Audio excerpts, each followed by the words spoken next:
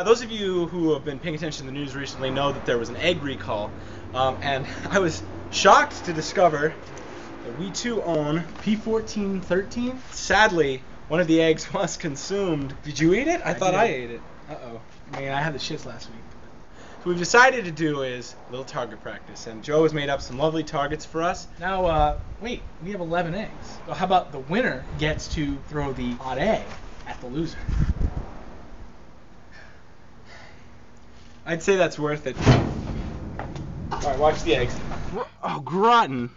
Oh, contraceptive. I don't use those, so it's not mine. Here's our uh, target practice.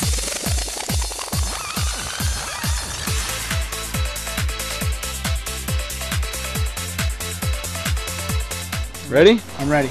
Okay. Doing this now? We're doing it now.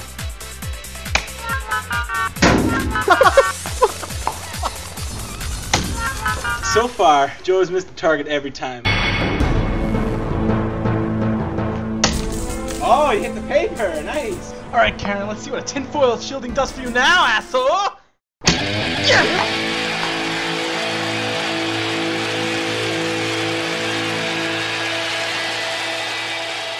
Here we go. See if I can beat your score.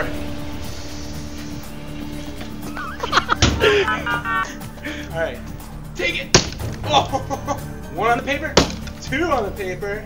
That one was out, I think. Yoke's on you, Caron. Yes! You know what that means?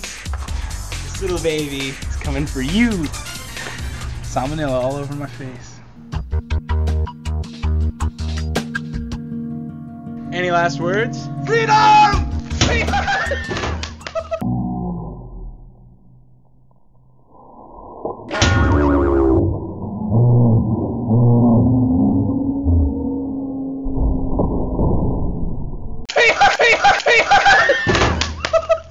I stepped on the condom. Salmonella.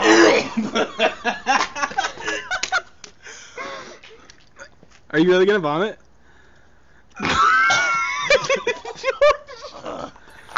All right, go get cleaned up. Go, go, go.